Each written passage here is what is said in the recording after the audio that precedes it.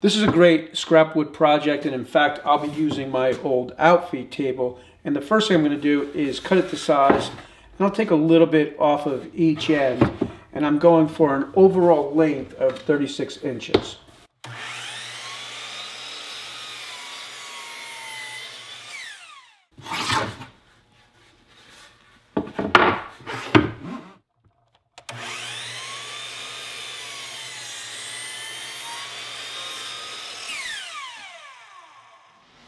For the platform of the fence, and this will depend on your saw, but for my saw, I like to make the platform three and three quarters of an inch.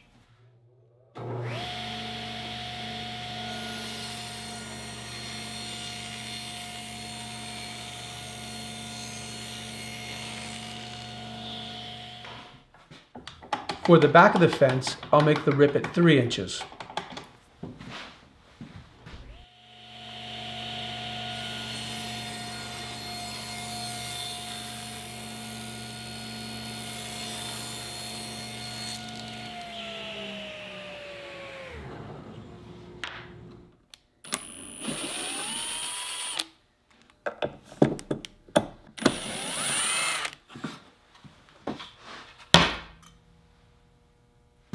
The new fence will be attached to the saw like this. First I'll have to attach these two pieces.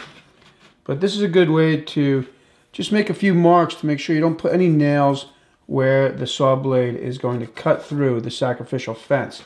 The reason why I don't make the platform too deep is because you still need to be able to read the numbers on the saw. So in this case, the platform is three and three quarters, and I can still see that the saw is set at a 45 degree angle. Next, I'll use a little wood glue and I'll nail the two pieces together, making sure not to add any nails in the center part right here.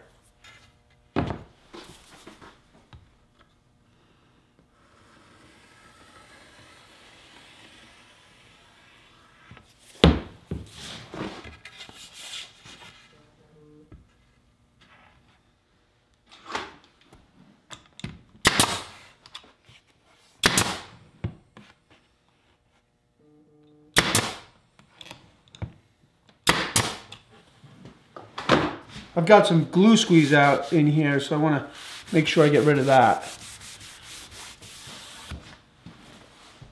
Okay, so now I'll just attach the fence to the saw. Make sure it's set up where the blade isn't going to hit where a nail is. And I'll use two screws in the back. You can see that this saw once had a laser, which never really worked very well. But once I have the kerf cut into this fence, I'll always be able to line the mark on the molding up with that kerf and it's much more accurate than a laser.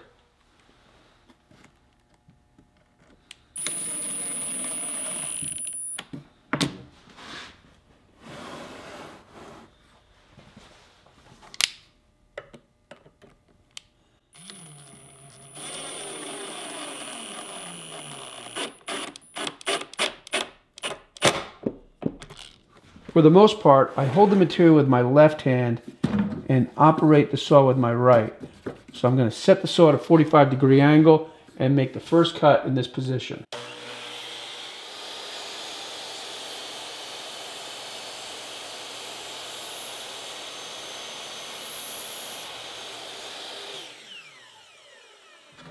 So now that I've got the new fence, let's make a quick frame to test it out.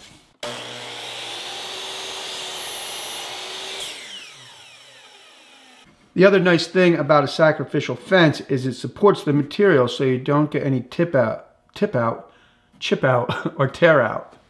Another thing I like to do is put a piece of tape on the fence so I'm not writing on the fence, at least right away. I like to keep them looking nice for a little while.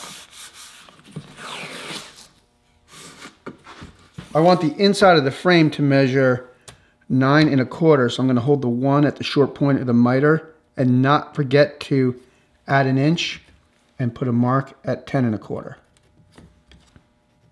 And I'll extend that mark so I'll be able to see it when it's on the saw. Now I'll align that mark with the kerf cut into the sacrificial fence. While I've got the molding in position, I'll make a mark on the fence for the next cut.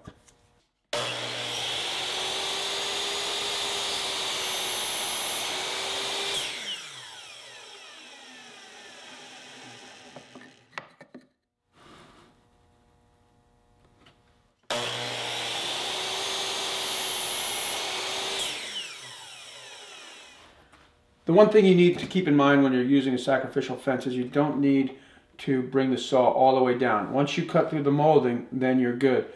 A lot of times people make the mistake of cutting too far and actually cutting through their sacrificial fence. So it's not too difficult to avoid that, but it's just something to keep in mind.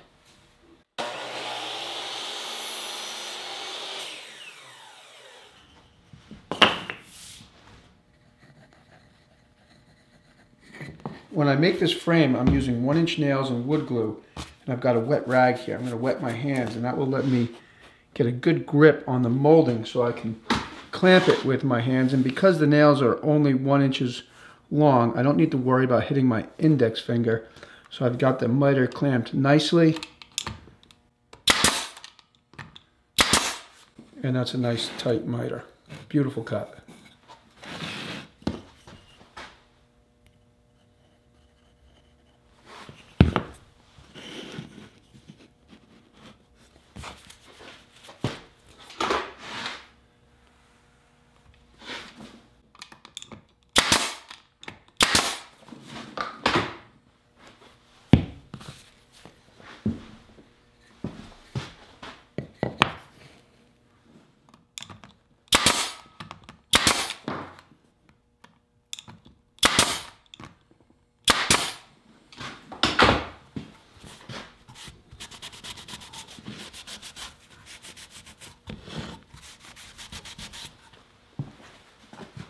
Okay, well I know that I've posted videos on how to make a sacrificial fence in the past, but I think that this video is maybe a little bit more clear and a little bit more to the point.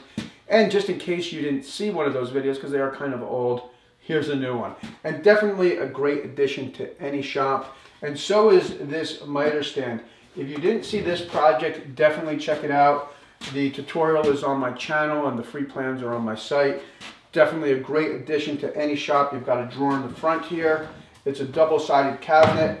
So you generally, I just store paint cans on both sides. But it's just great to have this uh, shop table or, or workstation that can be moved around the shop. So on another note, I'm really excited to be part of the Makers Mob. I've talked about it in the past. I am joining the likes of Jimmy DiResta and uh, Jesse DeGeest, the Samurai Carpenter. And one of the things that I'm going to be offering on my Makers Mob are professional art projects. I'm a professional artist. That's a big part of what I do. And there's a lot of technical aspects to of what I generally consider building a painting. So along with furniture projects, I will also be showing you how to make the paintings that I've been making for the last 20 years. And over here I've got a project that I'm working on now. This is going to be a painting of Jimi Hendrix on steel. And there's a lot of technical aspects that go into a painting like this. Because for one, I don't want the painting to weigh a couple hundred pounds. I want to keep it light. Two, I got to think about the paint that's going to adhere to the steel, the glue that's going to adhere to the braced panel, how to make the braced panel.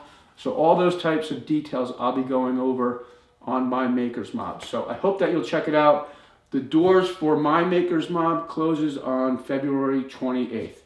Uh, and again, I'll have a link in the description, so definitely check that out. And as always, thanks for tuning in, and I'll see you next time.